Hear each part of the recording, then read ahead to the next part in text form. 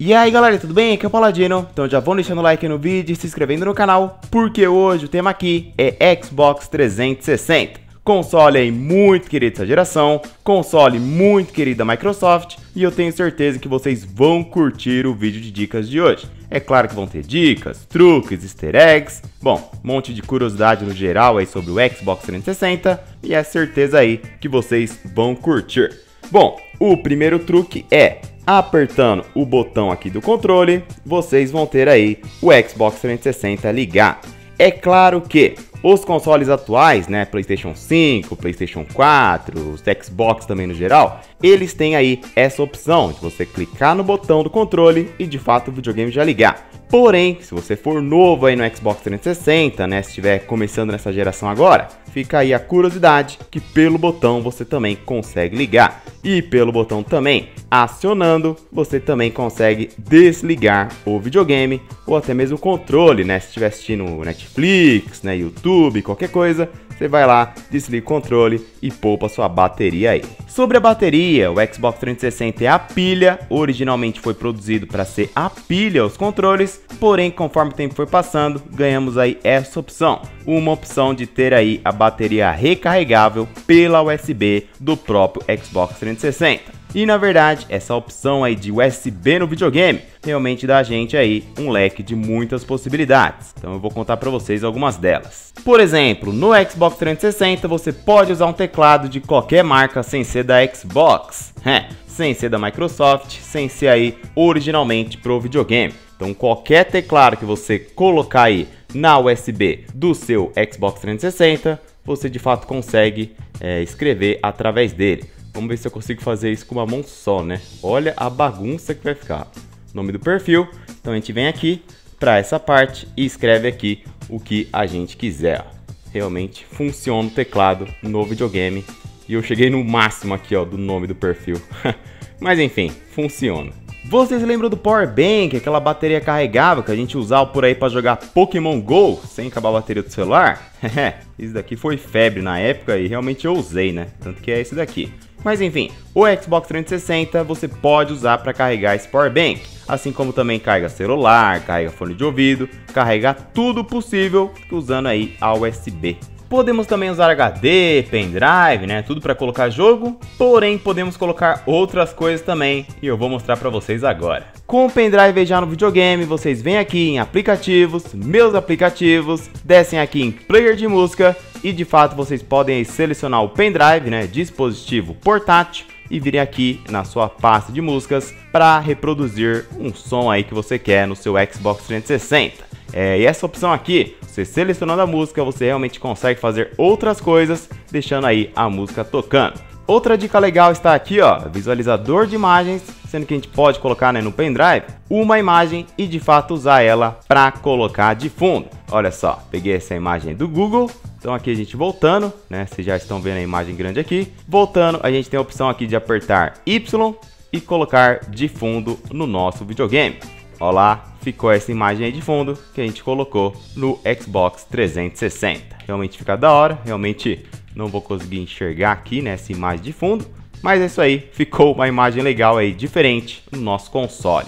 Nas configurações aqui, galera, temos algumas opções legais também, ó. A gente pode vir aqui no sistema, configuração do console, inicialização e desligamento, e aqui temos a opção do início. Então assim, é, originalmente no nosso Xbox a gente coloca o jogo e de fato vem aqui para o menu Xbox, onde a gente clica no menu que a gente quer selecionar o jogo, jogar o jogo, enfim, daqui a pouco vou mostrar para vocês. Porém, a gente pode já colocar direto para se iniciar o disco, sendo que não passa pelo menu Xbox, então a gente acaba ganhando ali alguns segundos e já vai direto para o jogo. E a outra coisa que eu queria citar aqui ainda é desligamento automático, sendo que você pode assistir Netflix, YouTube, né, no seu videogame e colocar aí desligamento automático para caso você durma, né, e esteja passando algum filme aí na sua televisão.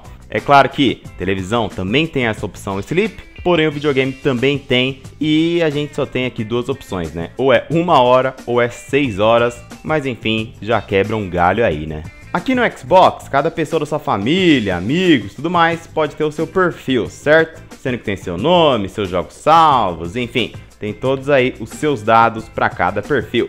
E bom, se vocês vierem aqui, ó, padrões de jogo dentro do seu perfil, você tem a opção geral, ação e corrida, sendo que você pode pré-configurar um jogo de ação, por exemplo, que você só quer jogar aqui, ó, com eixo Y invertido ou mira automática desligada sempre. Enfim, você consegue sempre vir aqui e colocar essa pré-definição nos seus jogos. Aqui, ó, na opção de corrida, você pode colocar que você quer transmissão manual sempre. Você pode, né, colocar aqui, ó, o ângulo da câmera também, pré-definido para você em todos os jogos que você joga. Enfim, realmente isso daqui é uma coisa que facilita e é uma coisa bem interessante aqui no Xbox 360. Aqui também nas configurações, podemos vir aqui, ó, em preferências.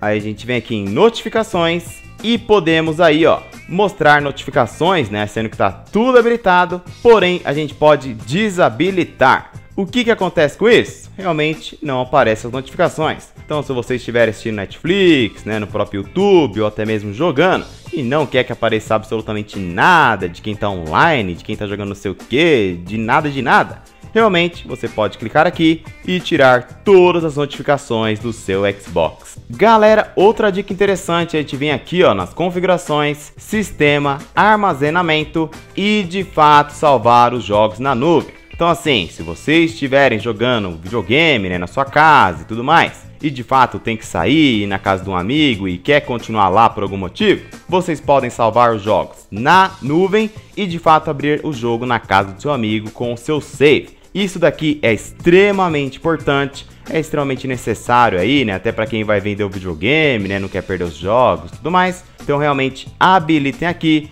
configurem, ativem isso daqui para de fato poder salvar o jogo aí na nuvem. E lembrando que no Xbox One e também no Xbox Series, isso daqui já vem automático, tá? E já no Xbox 360 vocês têm que ir atrás para de fato configurar aí e colocar na nuvem.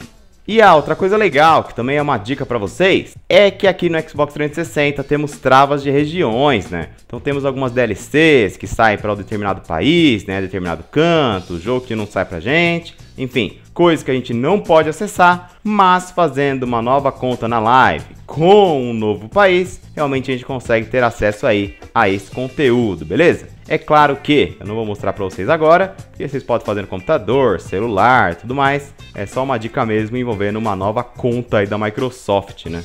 Outra dica legal tá aqui no sistema, no armazenamento, né, onde a gente estava agora há pouco, e aqui no disco rígido, no HD. Então a gente clica com o botão aqui Y no controle e temos duas opções legais. Primeiro, formatar, né? Extremamente importante, principalmente para você que vai vender o videogame e tudo mais. Formata, né? Antes de vender. E aqui também podemos limpar a cache do sistema. Na memória cache do Xbox 360, temos algumas atualizações que fazem aí com que corrija alguns bugs, glitches e erros de alguns jogos aí instalados no videogame. Porém, podemos limpar a cache do sistema. Paladino, por que, que eu faria um negócio desse, né? Não faz sentido eu querer jogar um jogo que não esteja aí corrigido, não esteja rodando liso, certo? Certo. Porém, se vocês gostam de fazer 100% em algum game, tem alguns jogos que tem alguns erros na primeira versão que de fato facilitam aí para bater o 100%. Então você consegue limpar a cache do sistema, o bug, o glitch, o erro lá que dava você, né, é, a vantagem no seu determinado jogo, realmente volta ali pro game e você consegue jogar o jogo original, né, a primeira versão do game no seu Xbox e de fato tirar proveito aí desse erro. É, então essa aí é uma das grandes artimanhas aí de quem faz o 100% em alguns jogos aí que são um pouco mais complicados no videogame. E por último aqui, galera, vamos para uma das dicas mais legais aí envolvendo o Xbox 360, que é o fato de ele permitir você instalar o jogo na memória. Sério, instalar o jogo no Xbox 360 aí. Então, a partir do momento que você coloca seu disco, já aparece a opção aí de se iniciar o game e você apertando com o botão X do seu controle, você tem aí acesso à instalação do jogo no videogame. Com isso, você vai economizar totalmente aí o seu leitor, sendo que só vai precisar do disco para se iniciar o game. A partir do momento que ele já inicia e já vê que o game está instalado no videogame, o leitor não precisa mais ficar lendo, então realmente você vai economizar aí e vai aumentar a vida útil do videogame. E lembrando, mesmo o jogo sendo instalado aí no Xbox, ainda é preciso do uso do disco para se iniciar o game, tá bom? Então você não pode pegar um jogo emprestado, né, ir na locadora, sei lá, pegar um jogo, instalar e vai funcionar. Isso não existe. Realmente você precisa do jogo para começar aí o game a rodar no videogame. Bom, galera, então é isso. Eu espero que vocês tenham gostado. Esse foi o vídeo de hoje aqui, apresentando alguns truques, né? Algumas dicas aí envolvendo o nosso querido Xbox 360. E eu espero que vocês tenham curtido aí. Lembrando, tem vídeo no canal já envolvendo PlayStation 1, tem também PlayStation 4, pode ser que tenha aí PlayStation 5, né, se vocês quiserem. Mas enfim, a minha coleção aqui é enorme, a minha coleção é grande. Se vocês quiserem dicas sobre outros consoles, podem comentar aí que eu faço um vídeo basicamente igual que eu fiz aqui do Xbox 360 sobre um novo videogame. Beleza? Então é isso, muito obrigado a todos, falou e tchau, tchau.